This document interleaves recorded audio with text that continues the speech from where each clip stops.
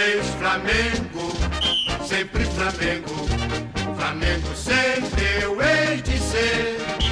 É o meu maior. Amigos do Flamengo, hoje a gente está aqui mais uma vez com o Ronaldo Bonelli e as pessoas vão nos perguntar por que, que a gente está novamente com, conversando com o Ronaldo. Porque eu sou muito mais bonito que os outros carecas. E aí, para poder, como a gente está colocando em escala lá as entrevistas dos outros candidatos, a gente vai também quer conversar com o Lises também e abrir informação para. Muitas vezes as pessoas falam assim, pô, será que isso chega para os sócios? Mas, pô, chega para Eu não tenho essa preocupação. É, eu não, ter- o jornalista merece respeito. E se chega ou não chega, teu problema não é meu, eu vou te dar entrevista. Não, e o importante também é que esses torcedores que, que assistem, porque há uma grande audiência, se eu posso falar. Mas eu não estou preocupado com isso, está É. tempo. Não, eu estou falando assim, até para as pessoas, que a, a intenção também é de ver a importância do torcedor dele virar sócio do Flamengo, para que na próxima, eleição ele possa estar A minha, a participando. minha preocupação é fazer você sair daqui satisfeito, porque você é rubro-negro, você tem o seu, o seu trabalho e eu, como candidato à presidência do Flamengo, corro atrás de possibilidade de mídia. Quando aparece alguém da mídia para me entrevistar, eu dou graças a Deus, fico abençoado aqui e agradecendo a você. Então, meu amigo, não fica se explicando, eu estou à tua disposição. É um prazer para mim falar contigo. Eu que agradeço. E a gente, eu vou até colocar também na entrevista o link da outra que nós fizemos, né, a gente falou de diversos assuntos. E hoje a gente vai falar mais ou menos da realidade hoje, até da sua campanha e do processo eleitoral do Flamengo. E, um, e uma das coisas que na época da primeira entrevista você não, não havia divulgado os nomes, né, os demais nomes que estavam compondo a chapa com você. E hoje você, você anunciou o, o Evaristo, né? O Evaristo é o nosso vice-presidente de futebol, E- o Milton Gonçalves é o nosso vice-presidente geral e temos o nosso vice-presidente administrativo, nosso vice-presidente financeiro, mas esses nomes eu só vou oferecer mais à frente quando realmente a eleição passar. Aí eu vou eh, colocar todo o nosso grupo de trabalho à disposição eh, dos sócios e torcedores do Flamengo, porque nós vamos fazer também uma entrevista coletiva, não só com a imprensa, mas também com o associado e com o torcedor, para que eles possam cobrar, antes de nós começarmos a trabalhar dos nossos companheiros, o que é que a torcida, a grande nação rubro-negra e os associados pretendem com a nossa administração a partir do momento que nós fomos eleitos. E muito se fala em renovação, né? E aí é, você veio com nomes de pessoas que têm experiência tanto na vida, né, como também com relação ao futebol, que é o, o próprio Milton, que já teve é, envolvido com o trabalho dentro do Flamengo, o Evaristo, que né, tem uma experiência. Qual a importância e o porquê desses nomes na, na, na sua chapa? são nomes mundialmente conhecidos. O Milton Gonçalves, ele, através das produções que, das quais ele participa, ele entra em todos os países, ele tem entrada na Rússia, na China, no Japão, em Israel, no Oriente Médio, na África, em todos os recantos do mundo. Ele é conhecido. Se ele andar na rua na África do Sul, ele é reconhecido. É, e o Evaristo é, poupa qualquer tipo de comentário, não há necessidade de se dizer quem é o Evaristo, que é um sujeito que tem hoje 79 anos de idade e é o recordista de gols numa partida só pela seleção brasileira até hoje. Ele não joga na seleção brasileira desde 1960. Ou seja, há quantos anos? Por 50 e poucos anos. 52 anos. Então, há 52 anos, ele bateu um recorde, ele fez um, um, um recorde que até hoje ninguém bateu. Nem o Pelé, ninguém. Ninguém. ninguém. Nem o Ronaldinho, nem ninguém. E como que você avalia até agora o andamento da sua campanha? Muito bem. Eu entendo que uma campanha eleitoral ela não pode começar eh, dando tudo. Ela tem que ir aos poucos, adquirindo adeptos, eh, convencendo as pessoas, levando as ideias adiante, oferecendo alternativas.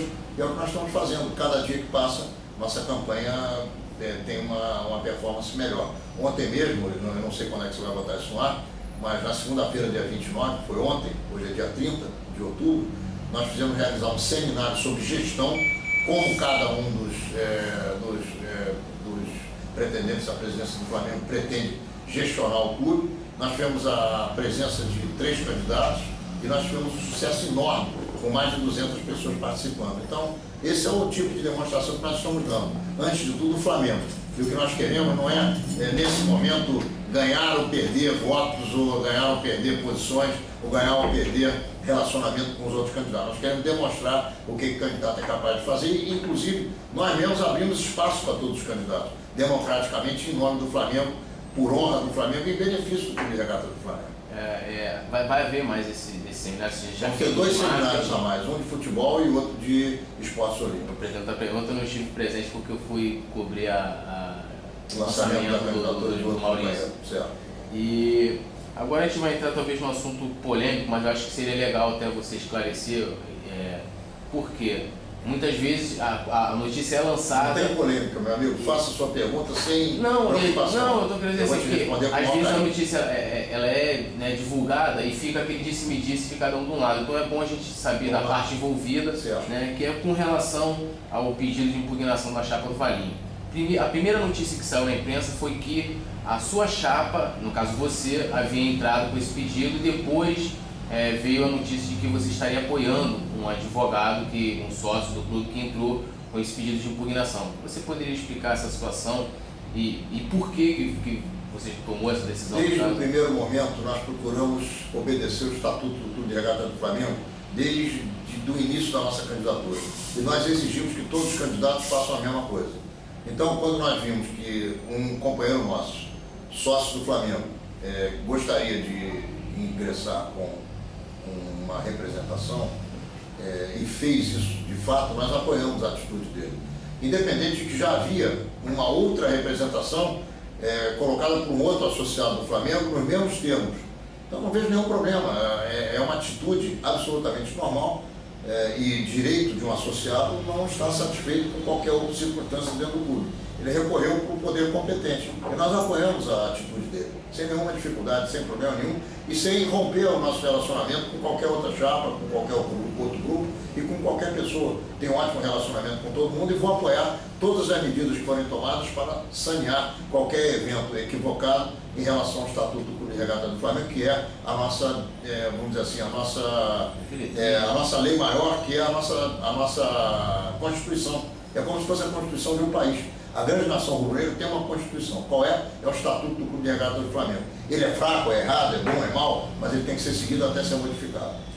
É, então, ou seja, você só endossou né, o. Não, não é só endossei, eu endossei. Endossei. E endossarei todas as medidas que forem favoráveis ao cumprimento do Estatuto do Clube de do Flamengo. E até também, isso foi notícia também de, de um grande portal, de que é, com essa decisão, com, a, com, essa ação, a sua chapa sofreu é, insatisfação por parte de pessoas que apoiam. Isso é verdade? Não é verdade. Inclusive, ontem a grande demonstração que nós estamos absolutamente unidos é que todo o nosso grupo estava presente. Não tenho ninguém que tenha saído do meu grupo por insatisfação com coisa nenhuma. Ao contrário, eu tenho a gente que soma, que agrega, como é o caso do Milton Gonçalves, e ontem estavam à mesa o ex-candidato à vice-presidência, Joaquim Vaz de Carvalho, que esteve presente, o próprio é, Milton Gonçalves e o Evaristo. Quer dizer, nós estamos absolutamente tranquilos e fazendo o nosso trabalho com tranquilidade. É, qual é a sua avaliação com relação ao andamento é, da, da, eleição até agora? Né? Não tenho nada a reclamar, não tem tá nada para mim.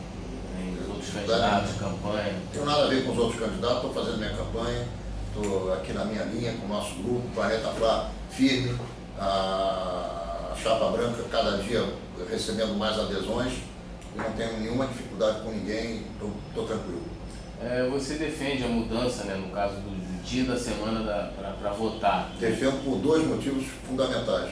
Em primeiro lugar, quem trabalha não pode muitas vezes deixar o seu local de trabalho para fazer uma incursão, uma eleição do Flamengo. Por isso, segunda, terça ou quarta-feira, que são os dias que sempre houve eleições do Flamengo, são dias que impedem a presença de muita gente. Por isso eu quero a eleição no fim de semana, no sábado ou no domingo. E qual a importância hoje a gente vê o Flamengo tendo seu futuro decidido por 2 mil, 3 mil pessoas. Tem 5 mil associados, mas 5, 6 mil que aptos a votar, mas nem sempre todos vão, vão votar. Essa é a realidade do Flamengo hoje. E qual a, importância, qual a importância do sócio votar, na, na sua opinião? Total importância. Quando o sócio faz uma escolha, ele absolutamente decide o destino do clube. Então é o que eu digo, o sócio não pode jogar para cima do candidato a sua responsabilidade. A responsabilidade do sócio é escolher o candidato, é conhecer o candidato, é procurar saber o que, o candidato quer fazer, é procurar mais do que nunca entrar nos sites dos candidatos, verificar o que esses candidatos são, o que eles fizeram na sua vida pregressa, qual é a proposta que eles têm para o clube e escolher aquele que ele acha que é melhor. Então, o sócio é o responsável pelo que vai acontecer no Flamengo nos próximos três anos. Eu entendo o seguinte, o estatuto hoje é, oferece a possibilidade a 5 mil e alguns sócios votarem. Esses são os sócios que nós temos que procurar para fazer com que eles venham votar. E aqueles que não quiserem votar, eles vão estar, de uma certa maneira, oferecendo a possibilidade do mau candidato ganhar a eleição. E ele é o sócio é responsável pelo que ele vai produzir. É, por, que, por que o torcedor do Flamengo ele deve se tornar sócio do clube? Por todos os motivos. O sócio é o dono. O sócio é aquele que detém a propriedade. O sócio é aquele que decide, é aquele que manda nos destinos. O torcedor é um apaixonado. O sócio passa a ter uma responsabilidade que o torcedor não tem.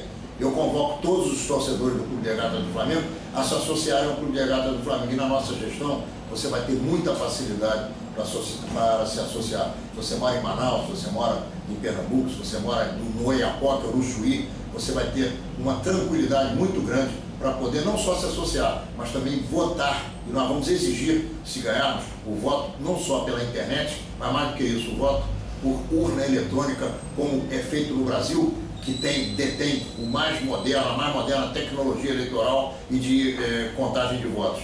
Esse tipo de coisa nós vamos fazer no Flamengo. Não é possível que uma nação de 40 milhões de pessoas, que pode chegar a ter 10, 15 milhões de, de associados, infelizmente continue votando pelo sistema manual. Espere aí, meu amigo, que você estará contemplado com o nosso trabalho e vai poder ser associado do Flamengo e vai poder decidir os destinos da grande nação rubro-negra e do Clube de Regata do Flamengo.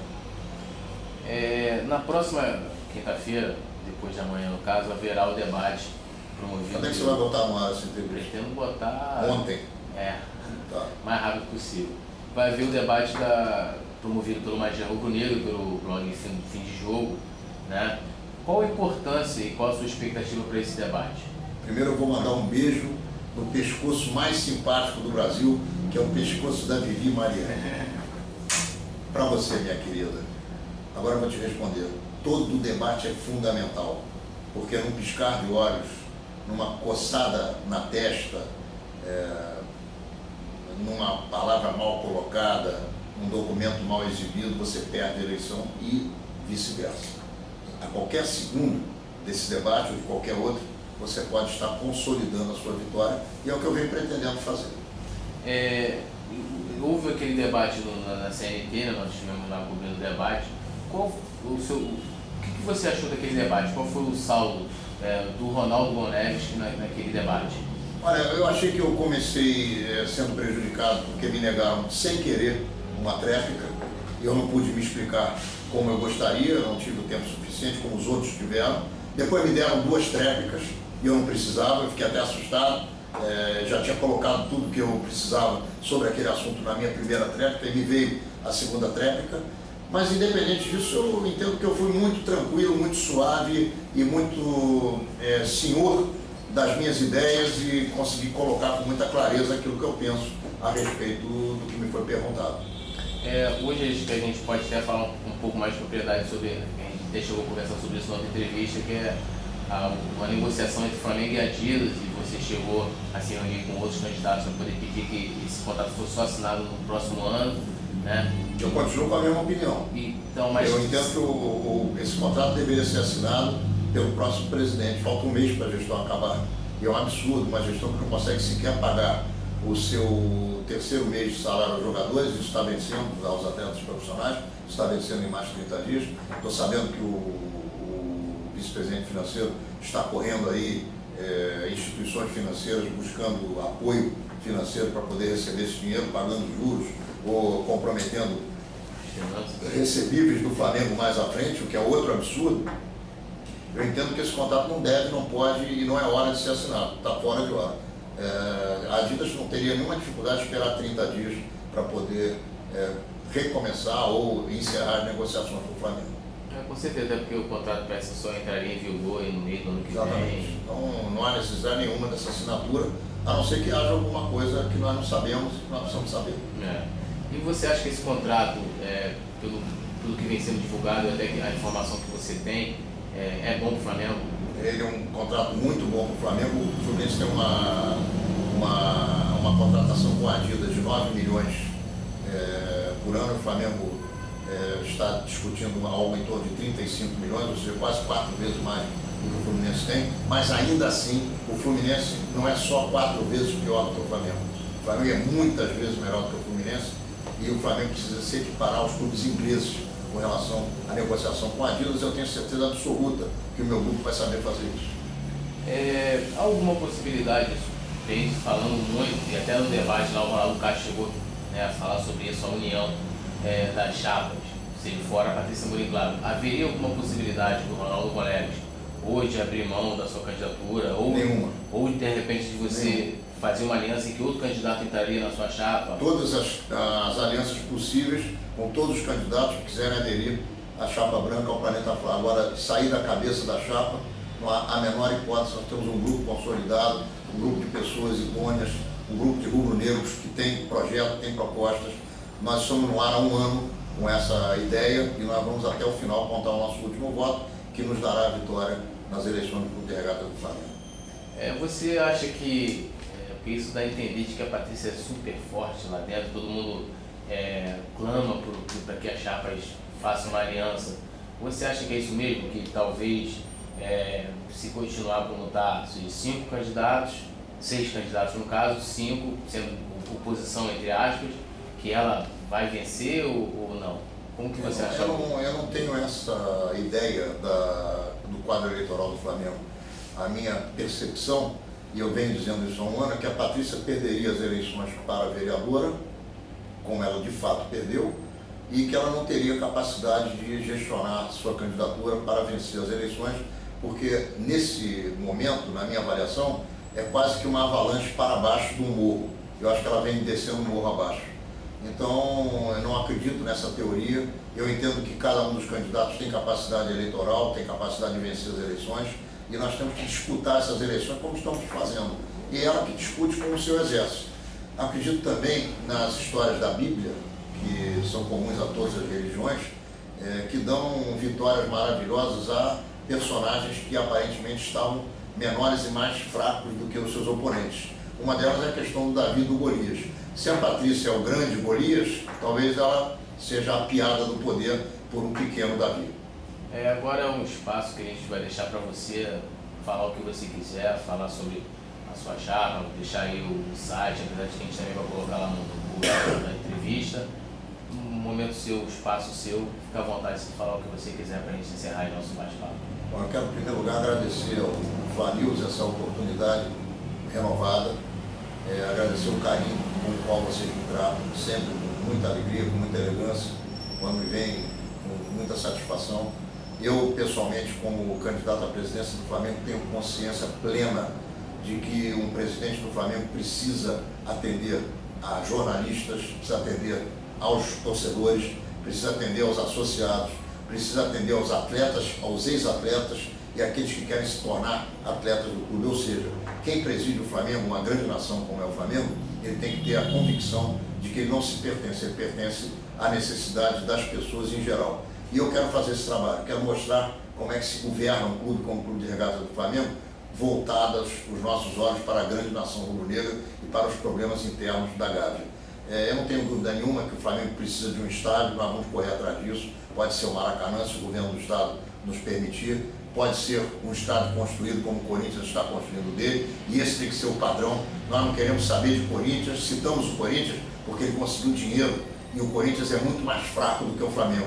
O Flamengo, se o Corinthians conseguiu 400 milhões para construir, ou um bilhão para construir o seu estádio, o Flamengo pode construir três estádios, não um só. E nós vamos buscar esse apoio político porque nós entendemos que o Flamengo ele consegue entrar em qualquer casa, em qualquer lugar, falar com qualquer pessoa, não só no Brasil, mas em qualquer país do mundo. Quer parar? Não, pode, pode ir. Pode continuar? Pode continuar. É, um barulhinho aqui, mas não tem problema nenhum. Campanha eleitoral é assim. Vamos continuar daqui, não precisa nem editar. Eu quero dizer o seguinte, o Flamengo, conosco, ele vai bater nas portas de qualquer poderoso, porque nenhum poderoso será mais poderoso do que o Clube de Regatas do Flamengo, com essa imensa nação rubro-negra, dando sustentação, dando suporte ao nosso trabalho. Tenha certeza, tenha a convicção de que Ronaldo Bonleves, que sabe como conversar, seja com o mendigo, seja com a rainha da Inglaterra. E nós vamos falar, seja em português, em espanhol, em inglês, em francês ou em qualquer outra língua para fazer do Flamengo o maior clube do mundo. Em 10 anos você vai ter esse orgulho, essa honra e vai se lembrar com muita tranquilidade do que eu estou falando nesse momento. Você pode ter a certeza que nós vamos internacionalizar o Flamengo, nós vamos nacionalizar o Flamengo como ele nunca foi nacionalizado e nós vamos dar ao Flamengo a estrutura que ele necessita e você vai ter a alegria, a volta da alegria de ser rubro-negro. Até lá, nos vemos e peço a você que entre no nosso site www.planetafla.com.br. Nos vemos no dia da eleição e eu conto com seu voto. Prazer, vê-lo brilhar, seja na terra, seja no mar, vencer, vencer, vencer. Uma vez Flamengo, Flamengo até morrer. Me arrecata, ele me mata, me maltrata, me arrebata, que emoção do coração. Consagrado no gramado, sempre